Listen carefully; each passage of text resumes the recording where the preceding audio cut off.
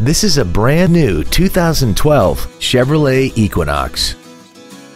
This crossover has a six-speed automatic transmission and an inline four-cylinder engine.